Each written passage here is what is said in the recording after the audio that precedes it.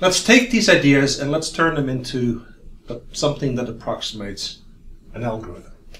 So what do we start with? Well, we want to solve ax equals b. So we're giving we're given matrix A and right hand side B. Now, to get the process going, every time we're going to create a new approximation for the solution, and therefore we need to start with some guess as to where the solution might be. And this can be any guess. So somewhere is our initial x0 that gets it all started. So we'll make that a given as well.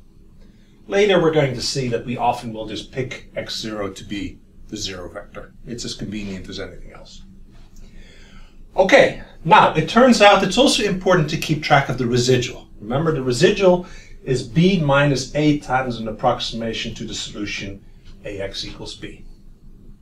So we are going to keep track of those as well.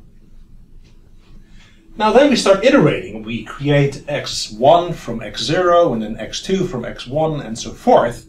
And what do we do every time? Well, if we so far have already computed xk, then we need to pick somehow a next direction in which to search.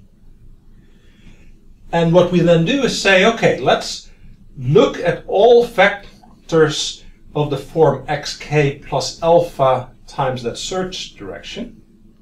And let's minimize that. In other words, let's pick the alpha that minimizes this.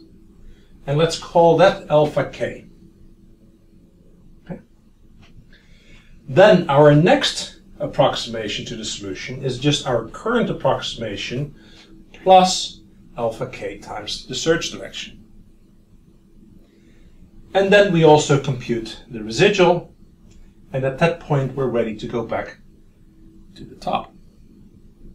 And we just keep doing this. The dot, dot, dot here says, keep doing this. And until when do we do this? Well, we do this until our current xk by the time we get here is um, actually the solution or is very close to the solution. So we may want to change this and say let's initially set k equal to 0.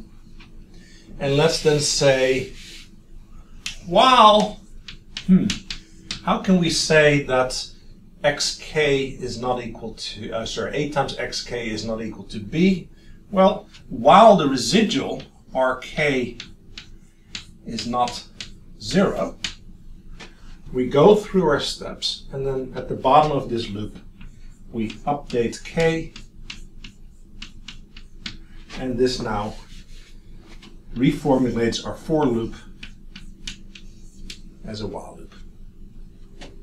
Okay? And that's our basic descent algorithm. Now, there are some details. How do we pick the next direction? Another detail is how do we minimize this? Well, how to minimize this I'm going to leave as an exercise for you to work out. And then the other things we're going to fill in as we go along and refine this algorithm.